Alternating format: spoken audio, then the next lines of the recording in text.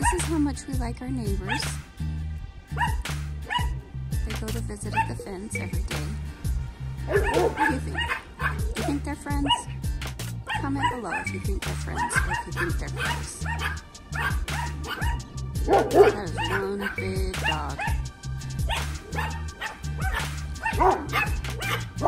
They're so brave when the dog's on the other side of the fence.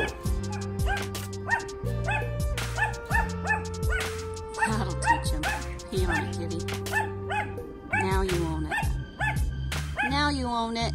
Hey, you taught that dog. You taught that big dog. Come on, sugar. Little girl. That dog would eat her in one bite.